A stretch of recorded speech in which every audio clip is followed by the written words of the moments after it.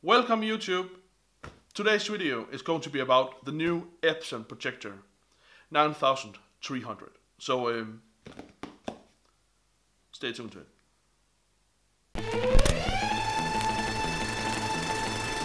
You're watching the 70s Man's channel.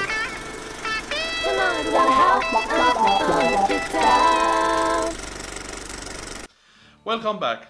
Yeah, I got a new projector for my home cinema because my old JVC X500 died.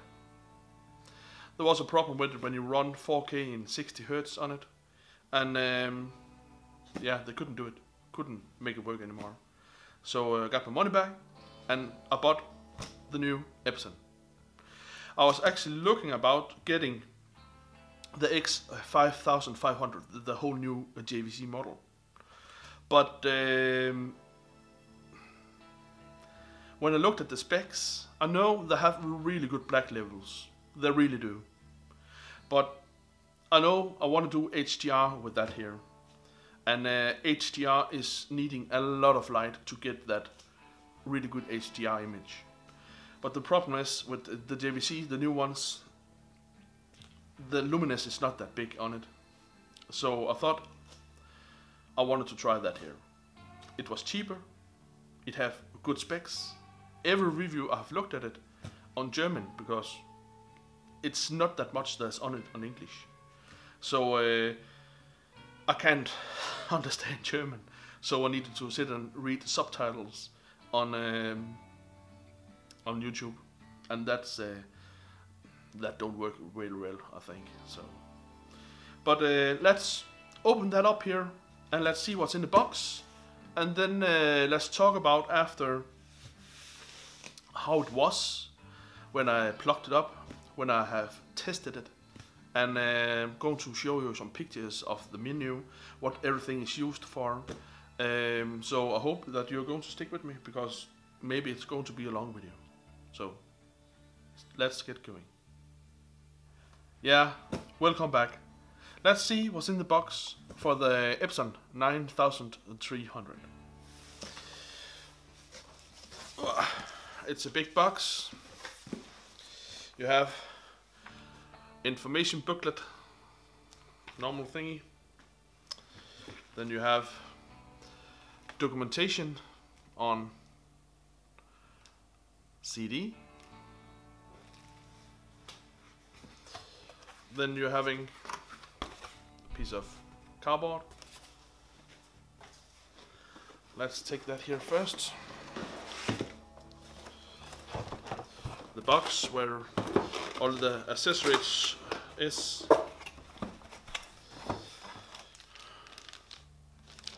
A nicely made remote. The design actually look a little like uh, the Oppo design.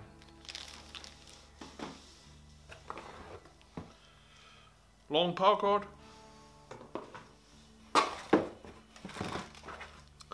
Batteries for the remotes and um, some ties you can uh, tie around the power cord and plug it in so it don't uh, just rip out the cord.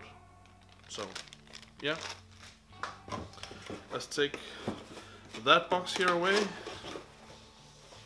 Down on the floor with that. Whew. And now the heavy part.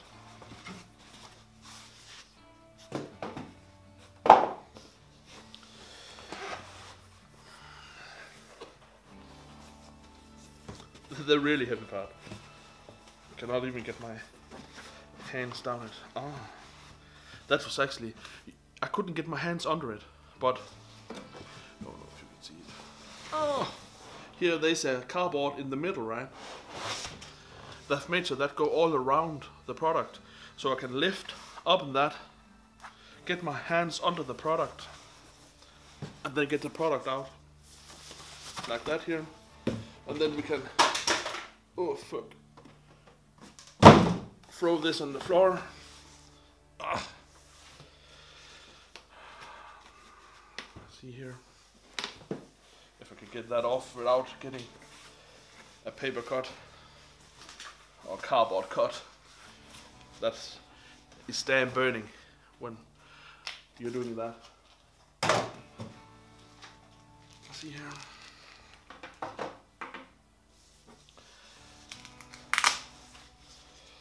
Nicely wrapped in. Let's hope it's as good as they're saying that I've chosen the right one instead of the JVC models.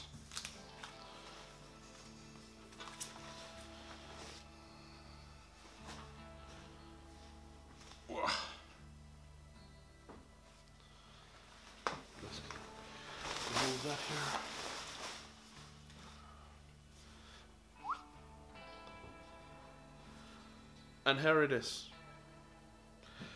Just when I just look at it at the first glance here, it looks nice. Nice design. And yeah, of course, that one here is plastic casing, right? Um, when I was down in the shop today to, uh, test that out here, I tried to knock on uh, the expensive Sony projector. Uh, that's insane prices, the 4K projector, full 4K native, right? So um, and that was also plastic. So of course, uh, JVC's models are um, metal casing, so that is a little more premium feel to it. But if it is the case I pay that much more for, I'd rather go with a plastic case. So one thing more I like with that here is you have a lens cover, and to get lens cover normally in a product, that is insanely expensive.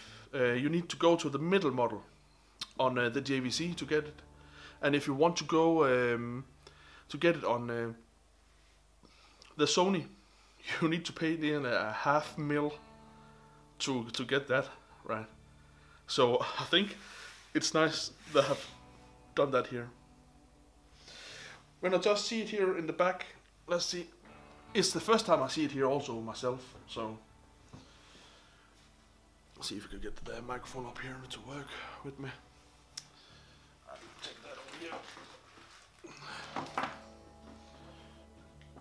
I see here. It's hard to see here. I'm going to take some nice pictures of it and a little film of it so you can see all the ports and all that in this movie here. But for right now, I'm just gonna tell what we have in the back. We have in the back two HDMI, two USB, a micro USB, and a normal uh, net cable plug. And I can see you have an old VGA if you want to use old computer to plug it on. And um, you have a, a trigger if you have a screen, uh, remote screen with the, that can roll down so you can plug that in. So within that he- here is turning on, it's turning on the screen. And then it have an old um, port if you want to do service on it. And also have a normal service port. Yeah, that was the little fast unboxing of it. And um, stay tuned for extreme testing and see how good it is from my old projector. If I've done the right choice and get that here. Stay tuned.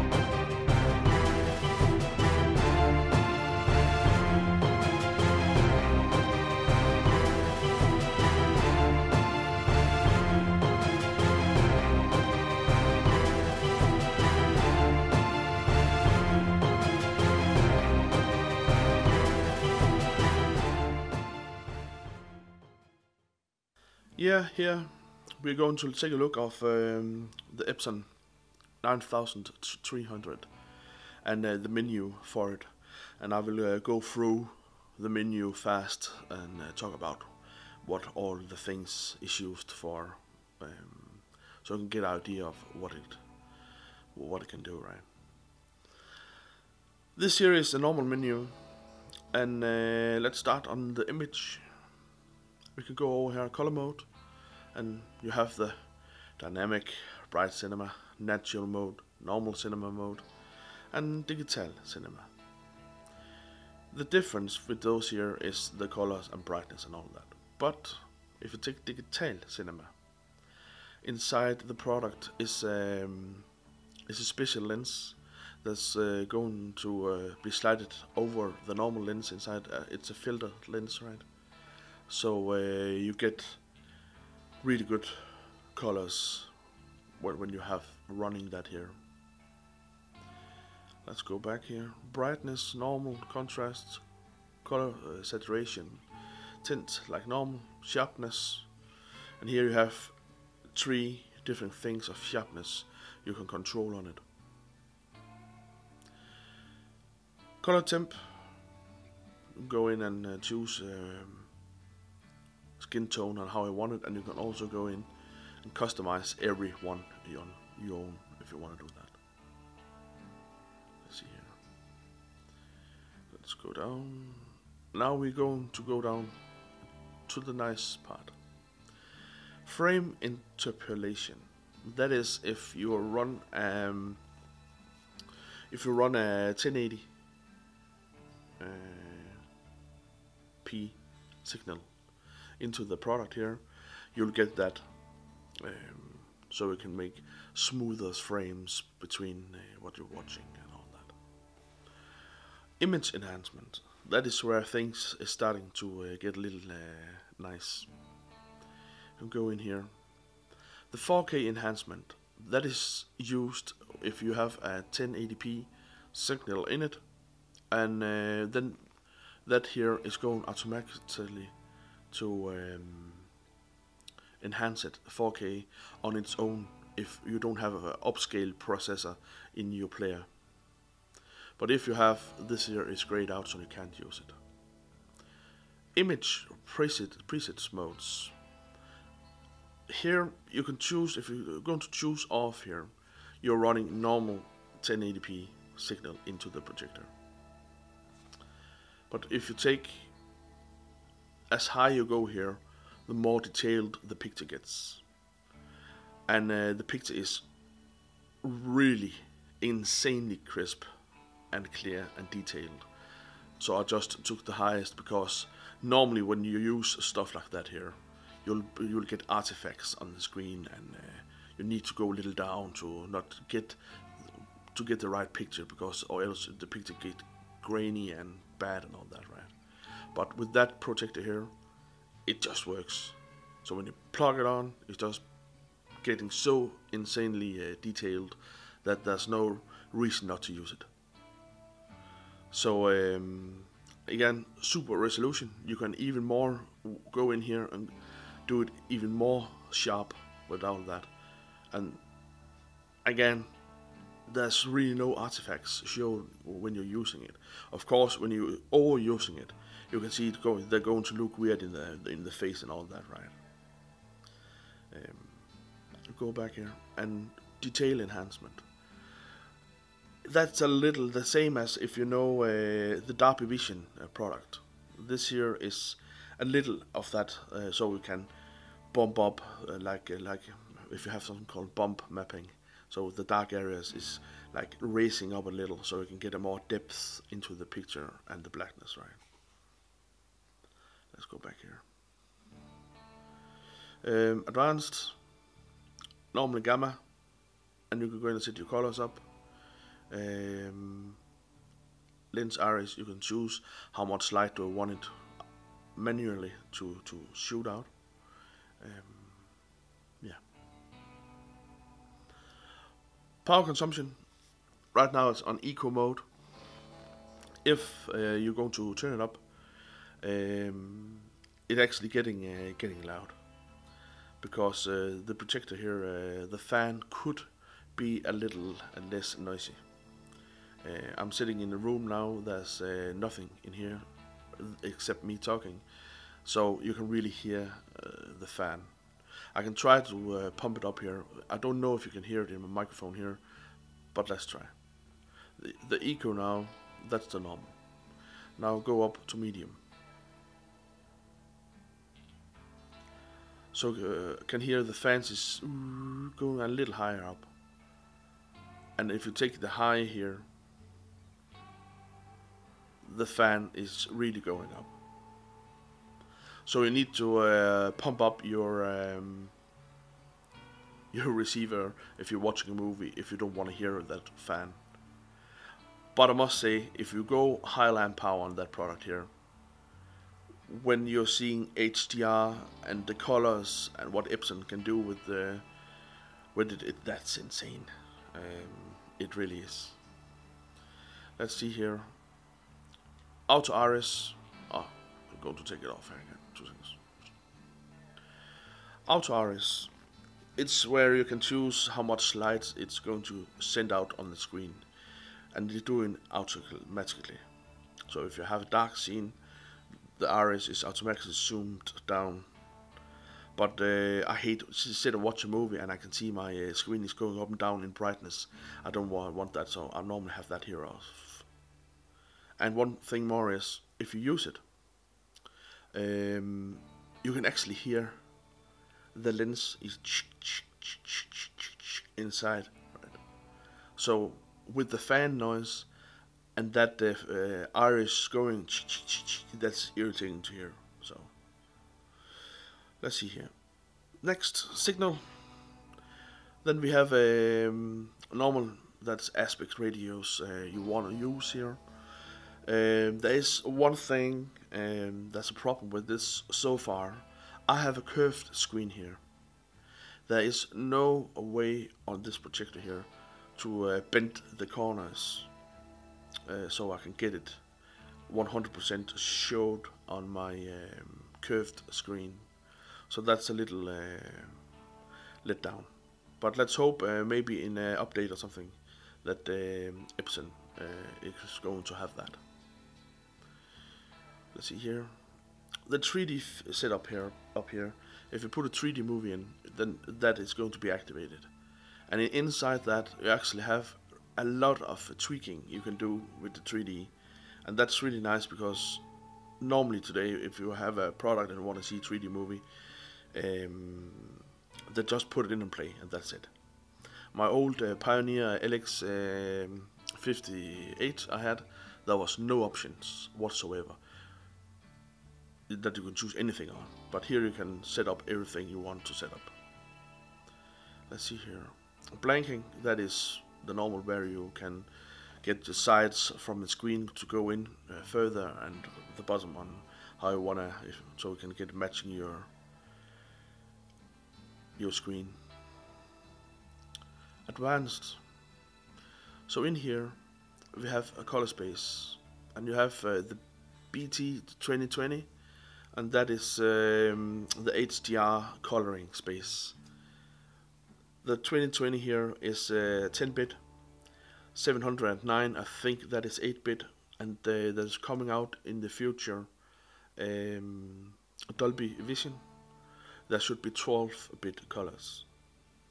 But the projector here so far only um, works with 10-bit um, colors, HDR colors. So um, yeah. In here you can take um, the dynamic range, there's a couple of things here you can choose. One is you uh, can choose um, SDR like we're running here. And you can see now here when I put something else on here, the coloring is changing really much. So now it's really popping out in your face with the colors. And you can go down, as long as you don't go down here, the more black you get. But it actually uh, looks insanely good because the more you go down here um, the black levels is really black. And I know that JVC should be better to um, to black levels, um, but I'll say that projector my old projector was um, X500 from JVC, and if I should, that's what I have to compare with, right? I know it's one year and eight months old, um, but that here is uh, better than that one. So let's go back to the normal here. Image processing is fine or fast, depending if you're gaming or you're watching a movie. So you can put that on. Let's go back here. Settings, the normal things. Keystone, that's where you can choose if you want to go up down with the screen on it. Um, you can lock it. Use a button. You can combine. You can go in and say, "Oh, you want your buttons. What should I use my button for here on uh, the controller?" Now we're going into the memory part of it. That is actually a really nice things I've done here. I'm running um, a curved screen, 21 by 9 cinescope screen, and you can go in here and um, you can save your memory up to 10 different sizes of your screen and that's really nice so you don't need to go and fiddling around with the, every time you need to see a movie in 16 by 9 or 21 by 9 uh, so here you can just choose it so that's really nice with the lens.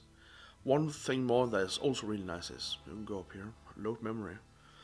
You can see I have made two here 16 by 9 and 21 by 9 and at the right you can see 16 by 9 is cinema 21 by 9 is uh, digital cinema. So that will say uh, because um, when you want to watch a HDR movie you have those options in the SDR thing. So here you actually go in and say okay when I watch 16 by 9 I wanted to use that color scheme cinema. And then you can configure that color scheme to your normal Blu-ray movies. And then you can go in and make a new 16 by 9 um, if you're watching it, it's a HDR movie so that's really nice that they have done that. So don't need to run in and uh, set up all your um colors every time you're switching from a normal Blu-ray to a, a 4K UHD movie. Let's go up here. Extend network. Extended that is uh, where you have the normal things uh, you can choose um, what I want how, how need to to look and all that right? Uh, your menus and yeah nothing really exciting. Network normal again. Set a network cable in it. Wireless or um, set that up. Yeah. info info is where you can see what are we running now which resolution and all that yeah that was um, a little of the menu of it i'm going to show a couple of um, clips here um, from it so you can see the colors and that on it i know it's not going to uh, be the 100% best when you're watching it on YouTube, uh, you need to see it with your own eyes in real life. But you can get a little idea of how it looks. So let me get that started up. So now here we have uh, a LG demo. Um, I don't know how good you can see it on the camera, but uh, the colors is pitch dark here and you can see every color it's the detail is insane and uh, yeah um, when I went out to buy that one here um, I had my old uh, JVC X500 uh, that died on me. So I thought okay should I take the new uh, 5500 model or should I go for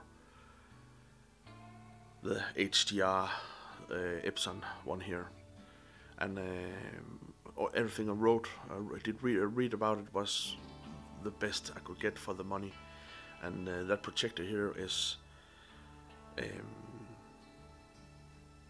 around uh, fifteen thousand Danish money cheaper than the JVC.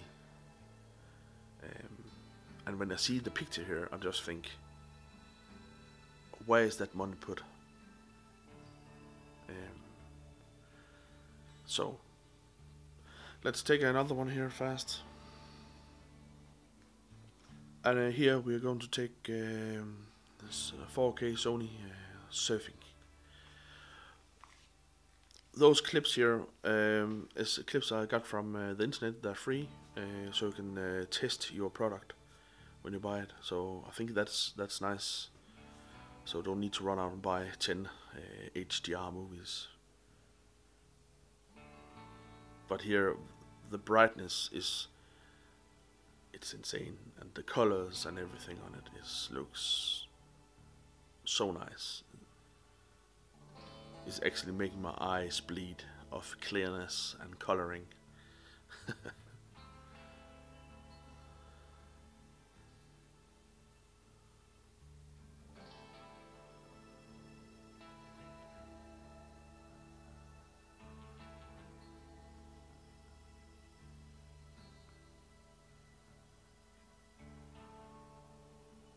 and all you can see every little small drop here of water that is 100% detailed. So that's yeah.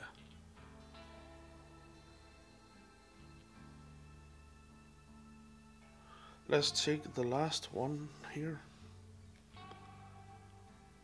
To show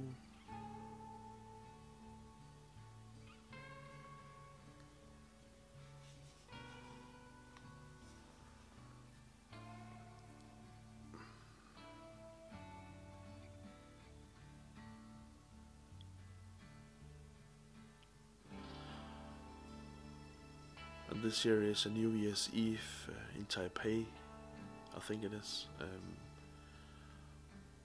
when, where you see the different things here, and then um,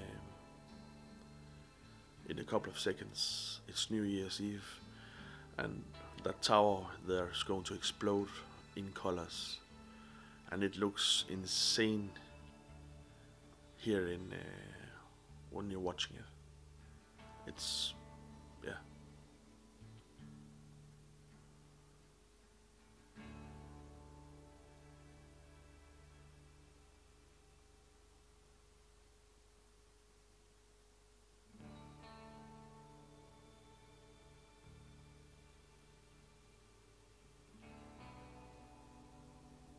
and here it is. Now just going to be extended with colors on all. it's, it's yeah. I can't say it more than once. it's insane.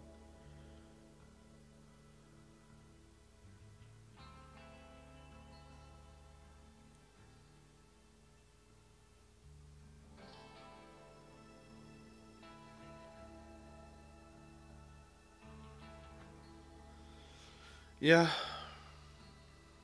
Let's jump out here.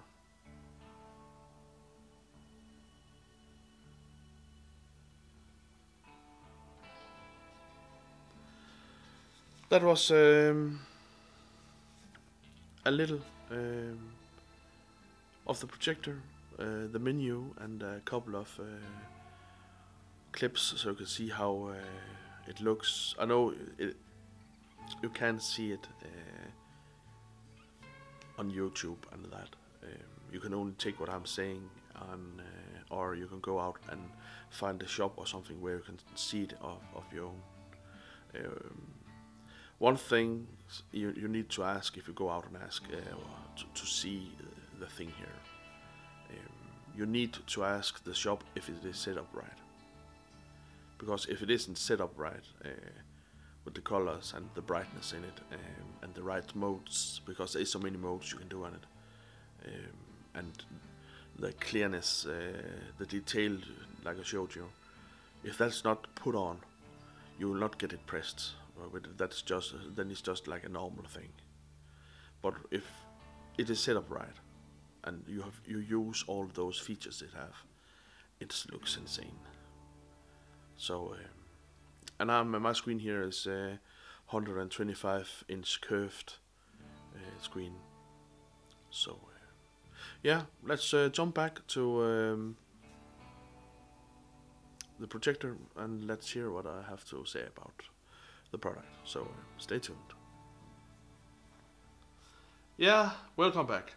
Now we have watched a little of the menus of it and a little clips of what it can send out and produce, right? So um, I think I'm going to talk about what's inside the product, what it actually can.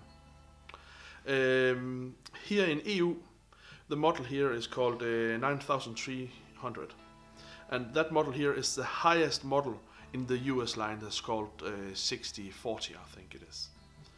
Um, so that here have 2500 lumens and 1 million to 1 in dynamic contrast and that's a lot. Um, it have automatically front cover like I talked about in the start of the movie. And um, how that projector here does it is inside is three LCD screens. And the three LCD screens can show 1080p contents. But it can also run 4K contents with HDR. How it does it is like the JVC models that calls uh, uh, like uh, eShift, where they're going to take the three screens, put them together, so to get a resolution that's matching the 4K. So that's how this model here does it. It's not a native 4K, so you need to remember that if you're going out and uh, looking at the model. It have um, 5,000 hours on the lamp inside.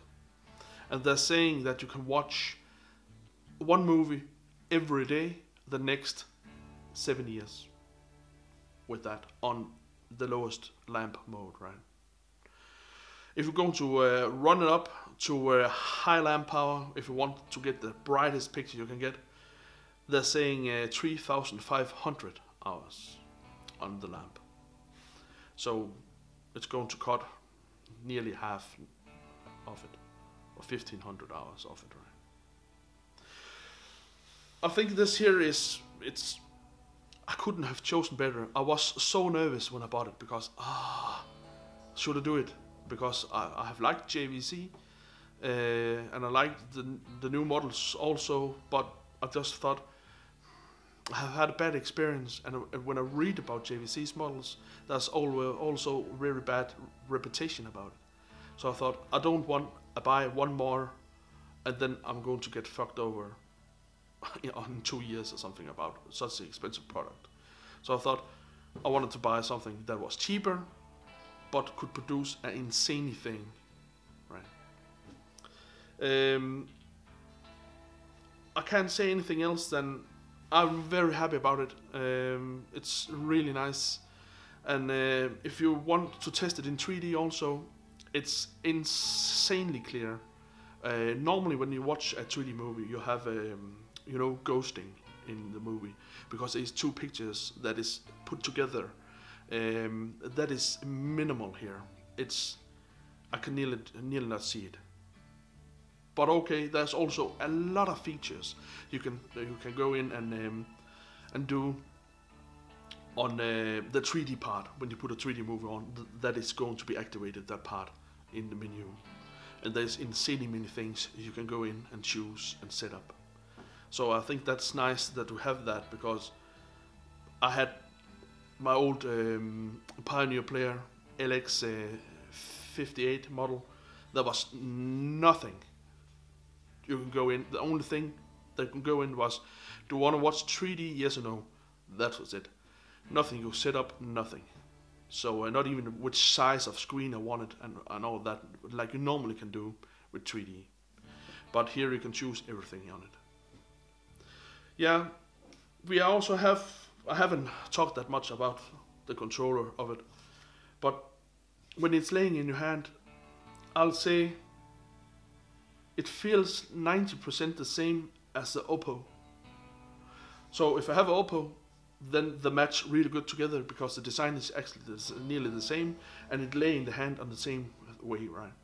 The only and the button here is big and you have all your lens memory, everything you need here is just here.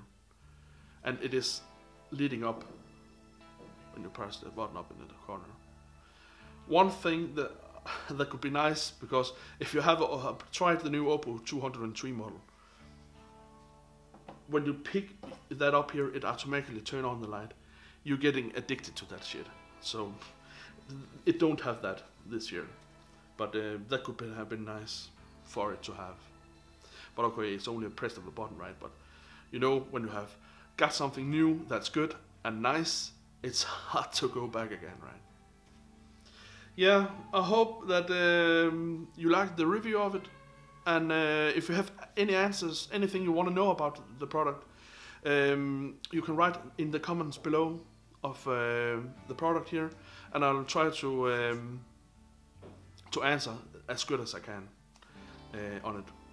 And I'm also going to use more time on uh, setting it up uh, more better with the coloring and uh, go in and, and set everything nice up with that. Um, so yeah, see you in the next video. Bye.